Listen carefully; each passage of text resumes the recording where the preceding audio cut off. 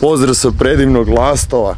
Ovdje mi radimo kampove i jednostavno toliko je predivno da bi bilo šteta da vam ne snimim video o sportskoj vizualizaciji. To je alat koji vam može osigurati iznimno puno rezultata u bilo kojoj temi vašega života. Pa idemo zavrtiti priču.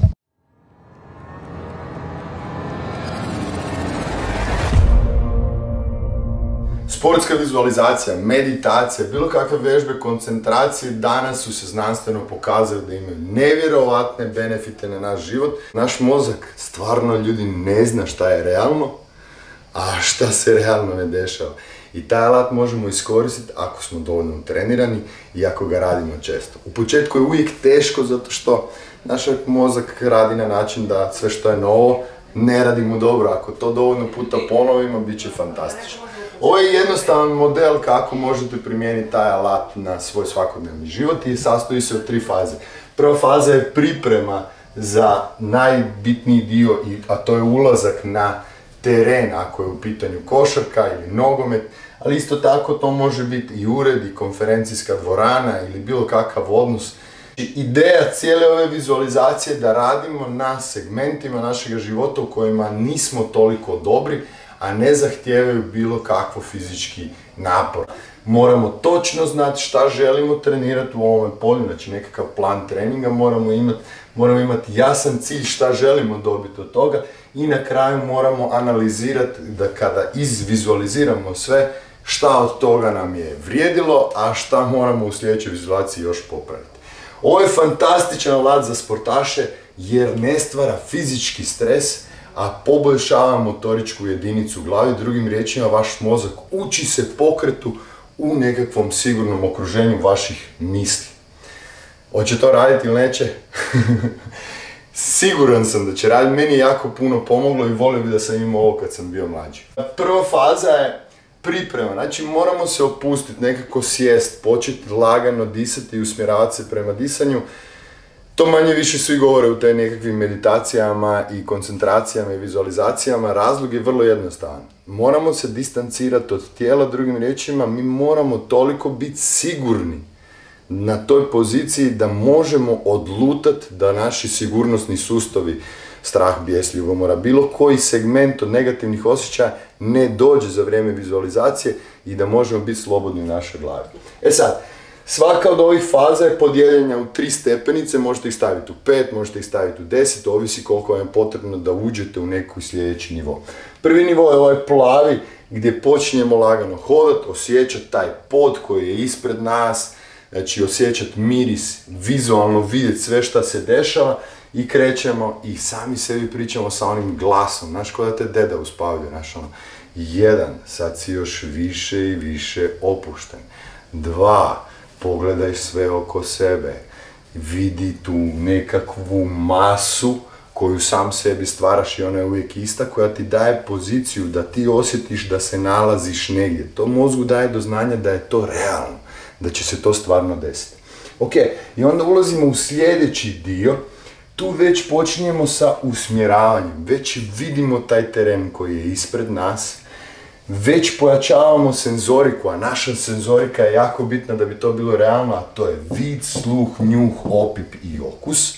Vidi svoje suigrače ili nekakve partnere poslovne, slušaj publiku, trenera, bilo kakve nekakve interakcije koje zahtijevaju od tebe da reagiraš, njuh, osjeti miris.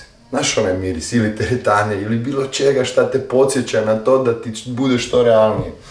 Opip, osjeti loptu, osjeti pod ispod sebe, pripremi se. Okus, vidi da li imaš više sline, manje sline. Što više ulaziš u tu nekakvu dubinu svoje senzorike, to si bolje povezan sa iskustvom koje je umjetno. Znači ti stvaraš ovdje filmski scenarij kao u Matrixu. To je baš, to je baš jako bitno. I na kraju ponovno opuštanje. Dva, još se više opušta. Tri, još si više opušten. Ja znam da to nekima to opuštanje izgleda kao da sad nešto mi radimo, ono, molimo se Bogu i tako dalje, ali opuštanje je izrazito bitno radi kemijskog sastava našeg tijela da mi se usmjerimo na to iskustvo koje realno ne postoji. A da bi to napravio moraš se malo slagati, to je uvijek dobar način. E sad, najbitnije dio je kad ulazimo u to naše polje iskustva. Tu mora biti slika vrlo, vrlo, vrlo jasna da možeš točno primijeniti ono što te inače u realnoj situaciji okružuje i onda iskorištavamo ovaj plan treninga, ja sam cilj i analizu da vizualiziramo taj pokret, da je vizualiziramo taj čin i ponavljamo ga u glavi postepeno, lagano i usporeno. Ako je to, znaš, i sad sve ono što možeš i želiš popraviti u tom samome pokretu, to je pravo vrijeme da napraviš. Znači ako nemaš taj dobar odskok kod trice, ako nemaš taj dobar izlaz u driblingu, ako se usereš kad ti dođe kolega i kaže neke stvari, ono kao treba popraviti pa ti ne znaš šta bi mu odgovorio, to je trenutak gdje si ti potpuno slobodan i izgovaraš sve moguće scenarije ili motoričke pokrete da bi popravio svoj uh, performance. E sad, u ovom tu dijelu možete biti od 10 do 20 minuta. Ja svakako savjetujem da se stalno resetirate. Znači napravite 3, 4, 5 pokrete ili 3, 4, 5 situacijskih e, pozicija i onda se lagano opet malo popneš gore, sjedneš i gledaš to kao iz neke treće dimenzije, sve kao ti si gledatelj i onda se opet vratiš dole i opet u principu ponavljaš te iste pokrete. E, kad smo to sve napravili, izvizualizirali takav nekakav segment koji nam je potreban, kreće izlaz prema van. Izlaz je vrlo jednostavan i dosta je bitan da bi uskladištili ispravno te informacije. Onda lagano krenemo prema van kao ponovo. Dižem se stepenicu sve više i više. Sve svjesniji okoline u kojoj se nalazim, pa počni osjećati pod ispod sebe. Znači ponovo se povezuješ sa tijelom i neposredno prije nego otvoriš oči na kraju, trebaš uskladištiti informacije na kojima se radio taj jedan trening. Ok? Ovo je bilo vrlo, vrlo jednostavno, tu sam na lastu, nemam baš priliku za neku posebnu montažu, hvala kad ste bili sa mnom, vidimo se nedjeljom, a za sva pitanja o meditaciji ili nekakvom fokusu, mogu vam i napraviti vođenu meditaciju ako će biti interesa za to, baš na konkretnu temu sportske ovaj, vizualizacije, samo mi šibnite u komentare, pretplatite se i vidimo se nedeljom u 7. Pozdrav, braćo sestre!